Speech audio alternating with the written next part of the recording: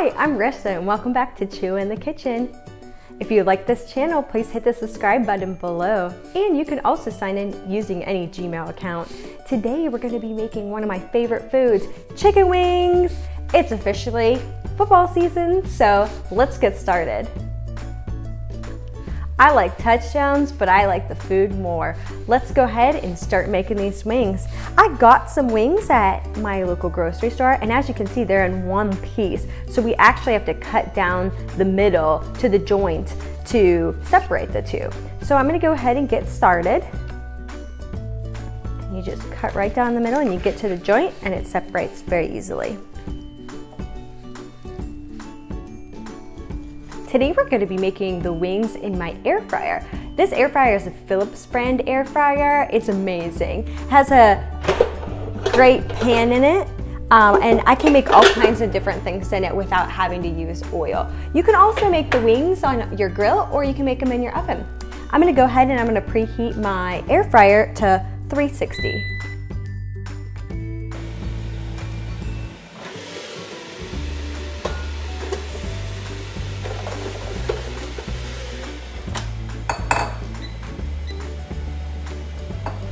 So pretty much wings are great for any day that has football in it. So that means Sunday, Monday, Thursday, can't forget high school, Friday, and Saturday. All right, about 10 minutes in, I like to go ahead and take my wings and kind of pull them from the sides because they kind of stick. And you kind of want to just shake them on up. I can still see they have a little bit more time to them. You want them to be real crispy and a nice golden brown. All right, the wings just finished up. You can see they're a nice golden crispy color and they're ready for me to go ahead and add my sauces.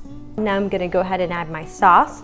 The first sauce I'm gonna go ahead and do is just a buffalo. I'm using Frank's Red Hot and then I'm adding four tablespoons of butter to that. Go ahead and add a good amount. And that's kind of your preference, how much you want. Feel like you're wing a little saucier. And then I just go ahead and mix it on up.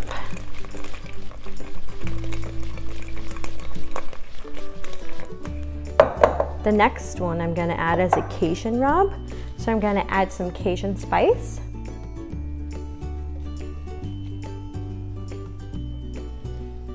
And then again, four tablespoons of butter.